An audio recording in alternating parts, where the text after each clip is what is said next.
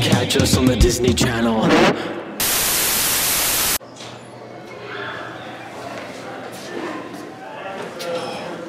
Oh, hi there. In today's episode, we will be talking about the brain. What? The brain is the most important organ in the body. It tells your body what to do and lets you decide what to do. Okay, so this here is the frontal lobe. It controls reasoning and judgment.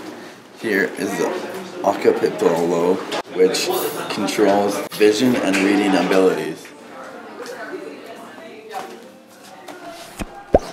The brain is connected to the spinal cord. The spinal cord is connected to the spine. The spine has nerves that branch out throughout the spine.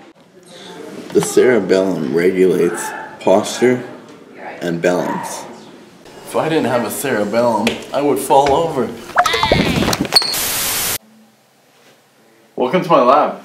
What? So, so over here, the hypothalamus controls the body's temperature. Here is the medulla oblongata that controls the heartbeat. Um, then there is the parental lobe, which controls your senses and keeps track of your hearing and your memory.